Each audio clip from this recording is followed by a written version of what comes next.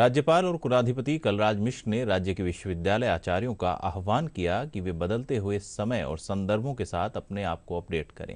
उन्होंने कहा कि यह समय तेज़ी से सूचनाओं के प्रसार का है। ऐसे में शिक्षक केवल पाठ्य पुस्तकों का अध्ययन ही नहीं कराएँ, बल्कि नए अनुसंधानों से भी अवगत कराएँ। राज्यपाल मिश्र ने कल बीकानेर के महाराजा गंगा सिंह विश्वविद्यालय के पाँचवें दीक्षांत समारोह को ऑनलाइन संबोधित किया। उन्होंने कहा कि विद्यार्थी विश्व और देश की नवीन चुनौतियों को ध्यान में रखते हुए भविष्य की कार्य योजना बनाएँ।